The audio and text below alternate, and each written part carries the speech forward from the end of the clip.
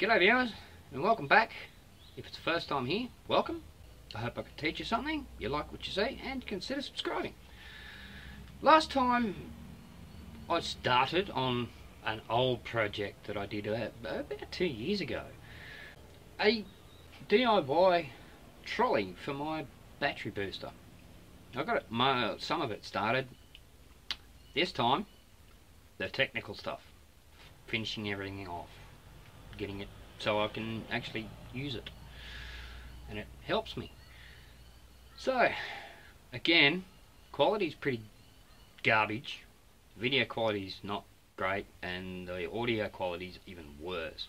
Keep that in mind but still the content's pretty good. Well I think anyway. But what do I know? I'm biased. Anyway here we go. Part two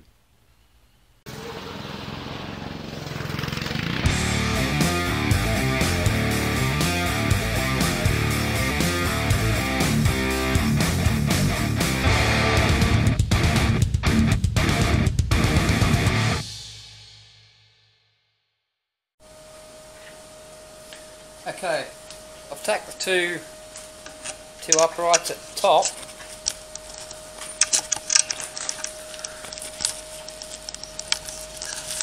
I'll take those on up here just quickly, just to hold them in place. And I'll tack the bottom one down here just once. Now, I'm not really paying attention to measurements on this, like not like precise measurements or anything like that. It's like, yeah, it's close enough. That'll work. Because I mean, after all, it's it's going to hold a battery booster off the ground. That's all. That's its primary function and its secondary function. Well, the secondary function is to move it easier. Um, so some measurements are more eh, than others. So this is one of them. Now, I have those two angles the same. So I want these two angles the same. Because you can't see from there. Turn it around. Hopefully you can see that. It's like that. This is kicked out a bit so that all of the weight goes to the back, not onto the front.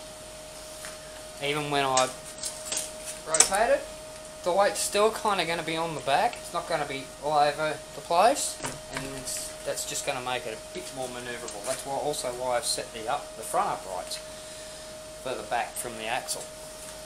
I could have even done better and turned the whole thing around the other way and have it set right back from the axle, but yeah, this is good enough. That'll make it too much of a, you get to a certain point and it'll just tip on you.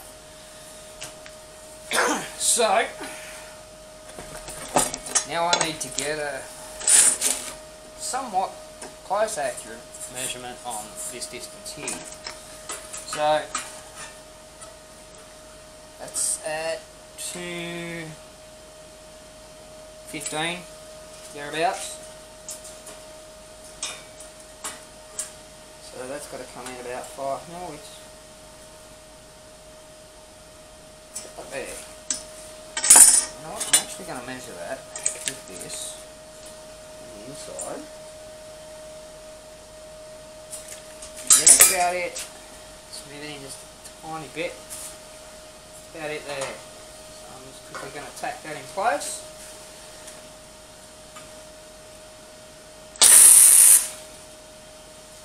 Now before you ask, yes, these two are exactly the same length. So now that I know, now I know that the distance is the same, so the distance from top to bottom is going to be the same, and the angle on the two is going to be the same. I can verify that, but I'm not really that worried about it.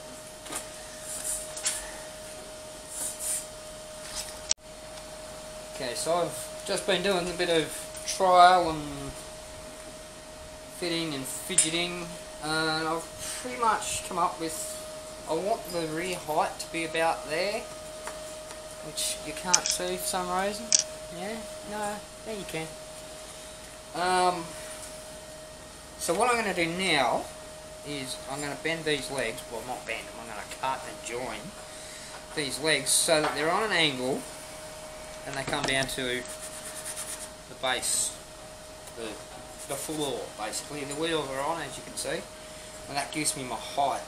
Um, don't want to go any more than that because the further up I go with the weight on the top of it, it, it tends to tip forward.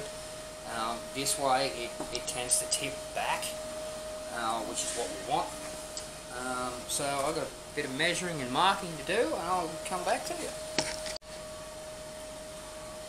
Okay, I've been in trial and a couple of little things, pretty much determined 30 degrees, yeah it looks good and it's an even number. I mean, I could go up to 45 degrees, but that's just getting a bit ridiculous. The smaller the angle, the further back the foot's going to sit, which is what I want. So, 30 degrees, it's easily split. 15, 15, 30. I'll get to that in a sec. So, now what I have to do is I have to cut here to turn that, bend that to 30 degrees. Now, you can't just cut a 15, a 30 degree wedge out of there. Because, okay, this is a bit more exaggerated. That's a 45 degree cut. And that's a 90 degree cut. So if I cut 45 degrees off one piece and leave the other one at 90, end up with that. see that? That whole area there is just not. It's so, to cut an angle into a piece of metal, you need to cut, even this one, it's not 45, but you get the general idea, it's, it's getting closer. So you need to cut the same amount out of each side. So if you want a 30 degree angle, you need to cut 15 degrees off each side. That way, it ends up the same size. Give me a minute, I'll show you. Okay, now here's my bevel set at 30 degrees, which is the overall angle that I was looking for. Alright, so that's that's what we have to match up to. That has to come down to there. Now, as I mentioned, if I just cut 30 degrees out of there, I'm going to end up with something that kind of looks like that. Don't want that. So, set your bevel at 15 degrees. Now, how do you know 15 degrees? Well, easy way. I downloaded and printed this out years ago. Right, you can get them off the internet. Just just search protractor, printable protractor, and you can see how fine them are. Like up here, they're not that fine. They're like nearly two mil between each each angle each degree. So fold it all on the bottom line there. If you have a straight edge bench, that's great because then you can just fold that over a straight edge, whack that up against there, you're good. If you don't, well, you're just going to have to do it close enough. But set the base across there, set that mark there, and there you go. Pretty simple, huh? Free. So, as you just saw, this little bevel is set at 15 degrees.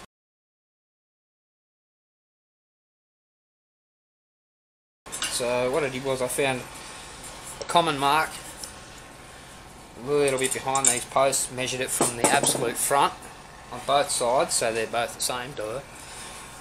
Set this at 15 degrees, and on your square line, well, scribe it, turn it over, there's 15 degrees there. Boom. So total included angle there is 30 degrees. We would hope. So now, I hope you can see that. I've cut that section out on both legs. This one back here is done too. Now, let's bend this down and see what happens. Okay, so it's cut a bit big. But that's no problem at all.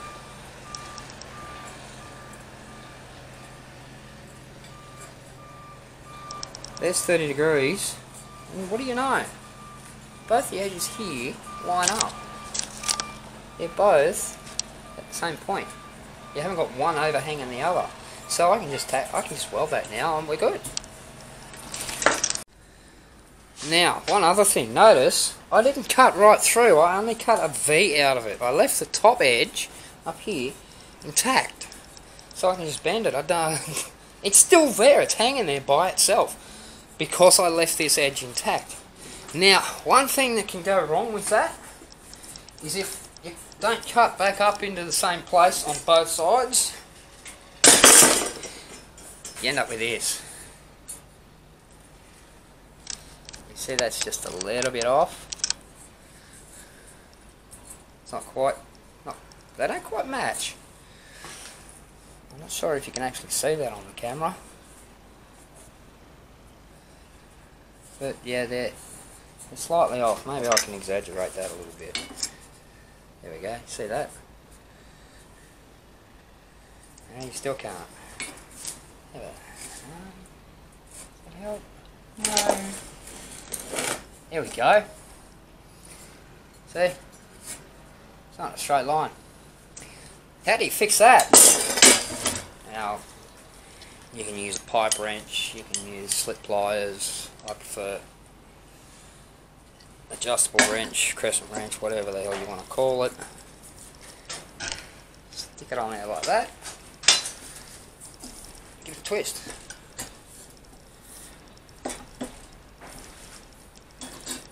Those are now lined up. There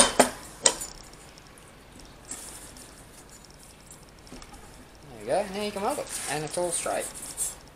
It's all flush. Now comes the interesting part. Now I need to mark a line where to cut these off so that they're the right angle so they sit flat on the on the ground. Now I could do a whole bunch of measurements and maths and all the rest of it Nah, there's a simpler way. That's the spacer I used to determine how far off the ground I want it. So, I'm going to put that back in place. Clamp that somehow.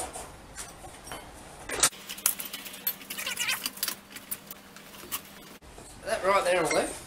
Now you see I've let that dangle down a bit. Well, I want that angle close. I want that point close to this point because that's where I measured it. Now, you just get another straight edge on the wheel. Now you can see that on the on the wheel, on there.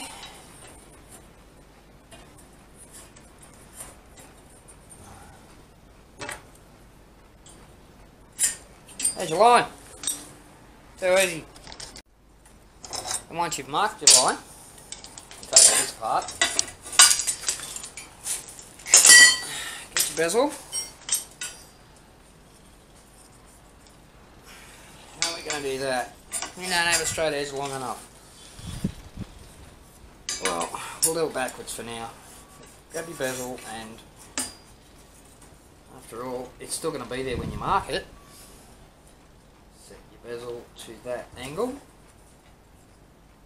there you go Should be good. Now you can use that to mark the other one after you take a measurement. Because obviously you want them the same length, right? You may notice again here, I didn't cut the whole thing off. I cut like a wedge out of it.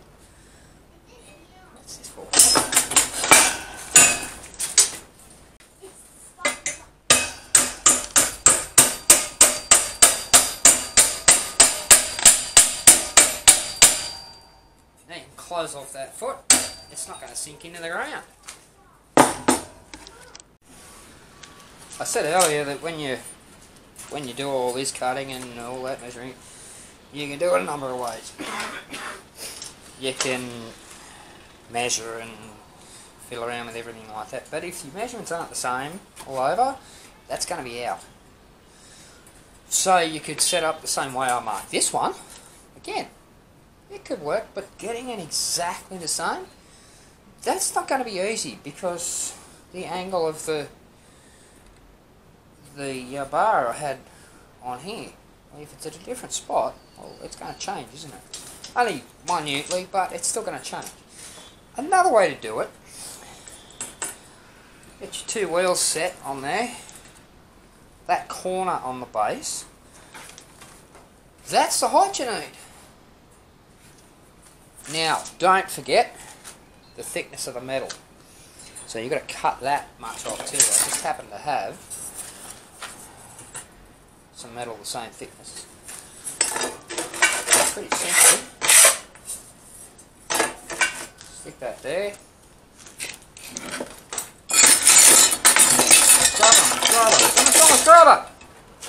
It's alright, it's around here, it's probably buried under this stuff. It could be HSS, it's got a sharp edge on it. So we'll just use that. Just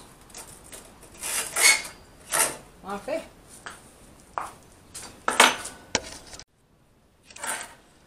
And you guys were probably saying, it's right there!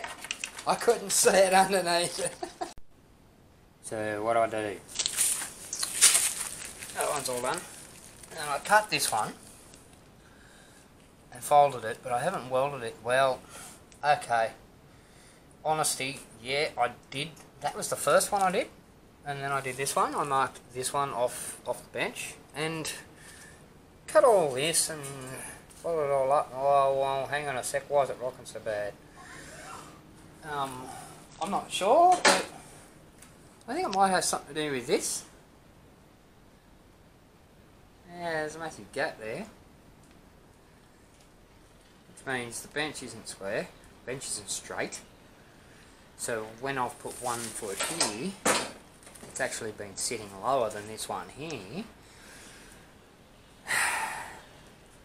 You get the idea. So I ended up having to cut another 5 mil out of here. And now before I weld it, I've steadied it, sat it on the, on the three legs, two wheels and one leg, and basically just put some weight, put some pressure on it until it came down to the right height. Now I just tack that in place, good to go. I did a bit of playing around with the handle and I just, I had them cut already, so I just thought, well, what's it going to be like just there? Turns out, it's a nice comfy height. And carry mode, well it's, okay, it's a little bit opposite to ergonomic. I might actually straighten that angle out a bit but it's comfortable. Let's put it that way. And yeah, I'm thinking I might just bring that back around a bit so it's a bit more ergonomic. Doesn't hurt your wrist that way. So, apart from welding everything up, I still want to make a some sort of something to secure the something to secure the uh, booster onto the trolley itself. But also want to make a point where that can just go in and weld up, plug it in. Well done. One of the easiest ways to straighten out a, a, an angle like this, take you take to it with your grinder and a cutting disc, cut slots in it, and when you've cut the slots, just pull it up if that if the angle's not far enough, just keep cutting into the slots until you get the desired angle. Now for me, yeah, that could probably come up a little bit more. Sorry you couldn't see that, I'm a bit close. So I'm going to take a few more cuts out of this and see how far I can get. Oh, that's a bit better. That's, that's nice and comfortable like that. Now, you can, you can just take pieces out like I've done here. You take three cuts. Or, to make it look, as you can see, more. As you can see, it's sort of not real natural. The more cuts you take, the more natural it'll roll. Not that uh, that matter. Cosmetics isn't a pro isn't a thing with this. Just saying, if you want a more natural curve, cut into it. cut more slots into it, it'll look more natural. Let's see if I can show you what I mean on something else. There's another project I've been working on for about a year. I will get back to it one day. But have a look that bar there. This nice and smooth and natural look out there. This was made the same as what I just showed you over there. I made a series of cuts in a straight pipe and then curled them around and that's the result. And if you think it was a one-off fluke, I did the same on the other side. Bit hard to see here now. There we go there. That one's actually not as smooth, but you get the general idea. So, two pipes that were straight that are now at a 45 degree angle. No, that's not 45, that's more like a 30. Just by simply cutting slits out. And the more natural way to the way to get that more natural look is, as I said, on the trolley. It's three cuts. It's three cuts, and they're pretty far apart. They're about half an inch apart each, half inch, 12 mil, call it what you want. If I made them, only because, well, I didn't really, didn't really care, to be honest. Um, to get that looking a more, more natural, well, all you need to do is make the cuts closer together and more of them. That's the way I did it on the on the mini bike I just showed you. More cuts closer together, not like on top of each other. As I said, they're like half half an inch, half an inch, 12 mil, somewhere around there apart. If you make them five or six mil apart, it's going to get it's going to have more of a natural line to it. Well, that's that, and here it is. Two years later, haven't done a thing to it. Haven't even welded it up, which is probably a good thing because over the last two years I've noticed when you're pulling it, it is a bit top heavy. So, which obviously puts a lot of weight on the on the handle. So, I'm going to lower it a bit. Not today and see how that goes. But until then, thanks for watching. Leave a comment down below if you like what you saw and you learnt something. Hit that like button and the subscribe button and notification bell so you know when the next one's coming. And I'll see you on the next one.